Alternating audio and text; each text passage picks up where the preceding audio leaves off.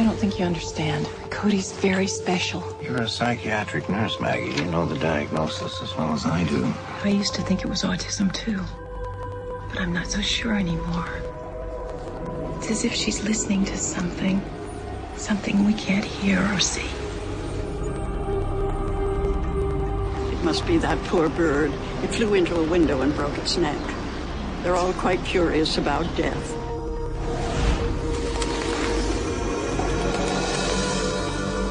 I think we found the one.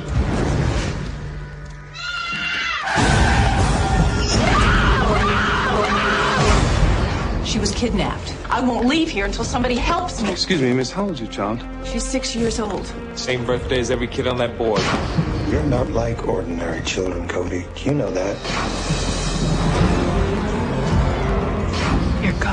Please help me. We're gonna get it back, Maggie. I promise you that. Eric's got this religion, only it's more like the opposite of religion. About a year ago, they started hunting kids. What does this have to do with Cody? She's the one they've been looking for all along. She's gonna lead people to God. Join us, Cody. Stark is well protected. You saying you're scared of him? He'll bury you if you come after him. Promise to get her out of there. I'm not leaving here until I see Cody.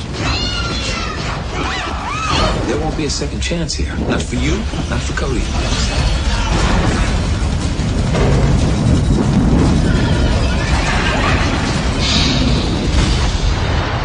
You have to choose. If you believe, jump. If not, you come to me.